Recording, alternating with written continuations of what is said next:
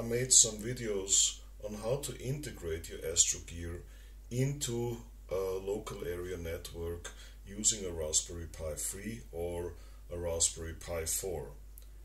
I used a small uh, display for this purpose which shows the current Ethernet address and operating parameters of the Raspberry but this display is no longer supported so I felt like doing an update and I simplified a little bit how to install INDI and all the fine details on the SD card of the Raspberry. You can do this both with a Raspberry Pi 3 or 4. I did it in this case with a Raspberry Pi A, which is a 3, with a small passive USB hub connected and a nifty power on power off switch. Again I used a small Adafruit display and I'll walk you into the installation of all these gadgets in the following video and I'll show you how you can benefit from this. The benefits of using a Raspberry with INDI are twofold. Number one is you can integrate your focusers, your cameras into a wireless network or you can attach your USB free devices to a powered USB 3 hub and then bring all the data into a local area network where you have no limitations on cable length. Have fun. First, you have to write an SD card image. You need an older Raspbian Buster OS Lite without graphical user interface, and this needs to be written to an SD card of at least 16 gigabytes. The little gear tool in the firmware installer allows you to set the most important parameters like the host name of your Raspberry. You can set the username and the user password. You can enable the secure shell, which is extremely important because you want to access your Raspberry without a display. And you can also select a network and the proper keyboard, which is also important. Once you've done this, you can start writing the data onto the SD card. This takes a little while, so we will abbreviate this process here. And while we are waiting, uh, I would like to point out that most of these settings were done using the raspiconfig tool in the previous video, and this is no longer necessary.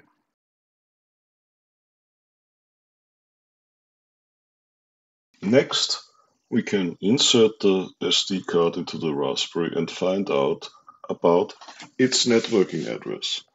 The Raspberry Pi A only features wireless, therefore I went into my router and I located the Raspberry and copied the IP address here so that I can access the Raspberry via the secure shell.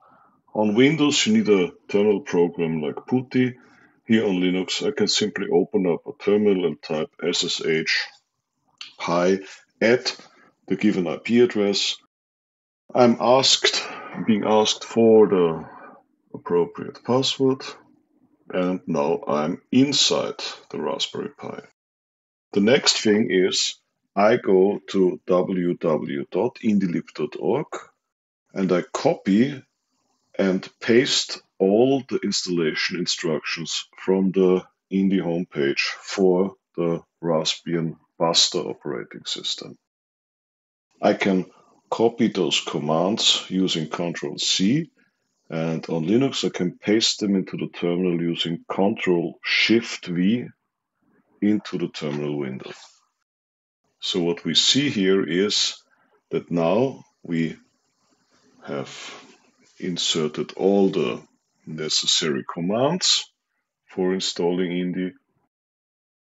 And next, we will install INDI with all the drivers onto the Raspberry Pi. Denote that the Raspberry Pi runs Buster Lite. There is no graphical user interface. It's really meant to be as lightweight as possible.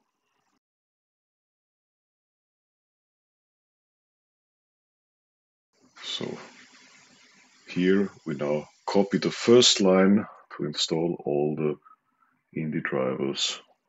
This takes a while and I have abbreviated this process again a little bit. It will take longer when you're doing it. However, in the end, you have a Raspberry Pi running an INDI server.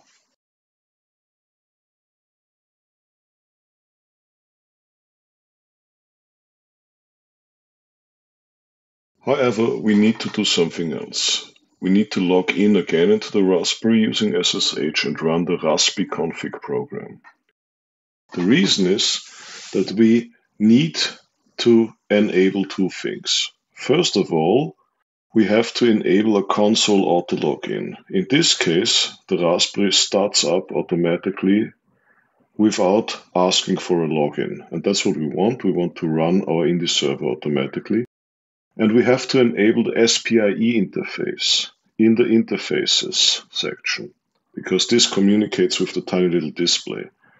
Here I also activated I2C and I disabled the login shell via the serial interface. But this is not necessary. However, it is important to enable the auto login and the SPI interface. Everything else was done beforehand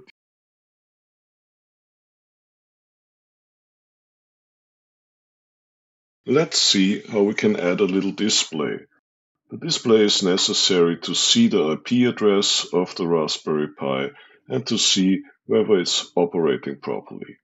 I used a small Adafruit Mini PiTFT with 135 times 240 pixels. This can be bought by electronic stores nearby that carry Adafruit equipment. So this is widely available, it's very cost efficient, and it's a great little helper, which gives you more confidence in running this setup. In an earlier version of this video, I used this display and I embedded a kernel module that directly displays a console. This does no longer work and therefore I had to revise these videos. So what I'm doing now is I'm not installing a kernel module as described on the Adafruit homepage, but rather than that, I'm installing Python support. And I wrote a little Python script that displays the IP address and does everything we need in order to run our INDI server. So the PiTFT goes onto the headers, in this case on a Raspberry Pi Zero. And first of all, you have to install the Python installer package, pip. You can copy this from the homepage of Adafruit and by Control Shift V you can paste it into the secure shell, into the console. Of course your Raspberry Pi has to be connected to a network.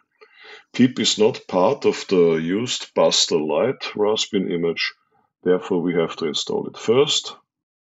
But after that we simply go through the Python installation instructions one by one.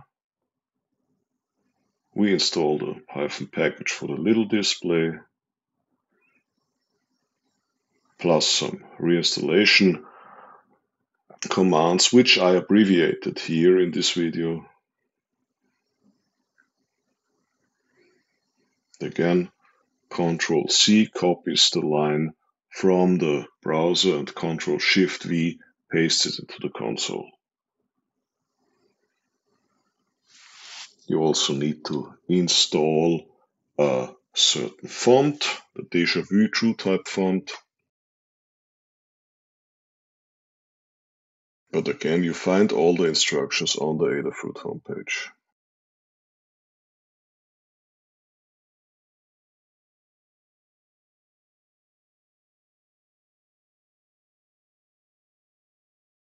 The next thing is of course then to download my Python script which displays the IP address and some parameters of the Raspberry Pi in operation.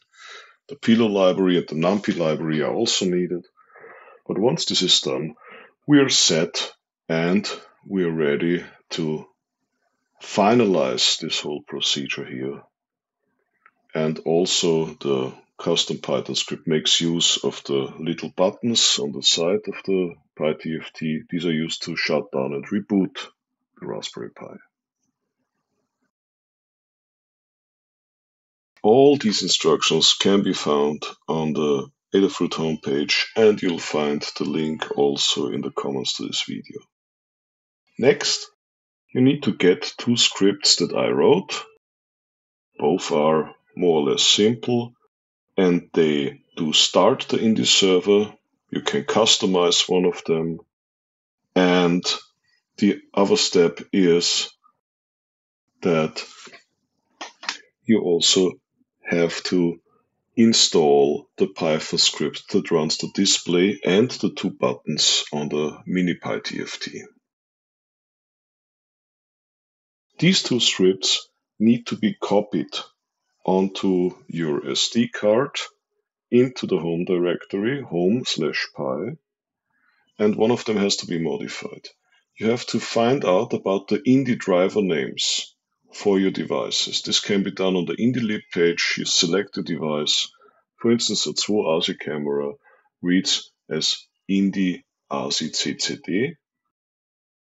You open a script called startup INDI and there you can insert the name of your drivers. If you have multiple devices, you can insert a number of driver names, but these have to be taken from the INDILib homepage. Control Alt, Control X saves this file from the Nano editor, and you have to make both this and the other Python script that was provided in the download section. You have to make these executable by typing sudo chmod a plus x and the name of the file. This has to be done for both files.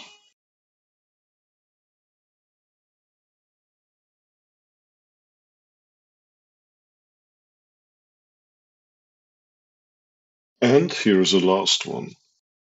The Python script that runs the display and starts the INDI server has to be executed at startup. For this purpose, type crontab-e into your terminal, go to the bottom of this script and type add reboot python free home pi run indiserver.py and don't forget an ampersand in the end. Save this and your script will be executed at startup.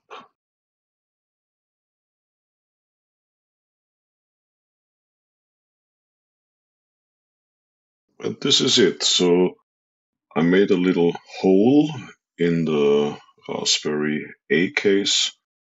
You see how the system comes up. This can take up to 20, 30 seconds. And in the first few seconds, you don't see an IP address. But after a while, of the connection to the network, the IP address shows up as well.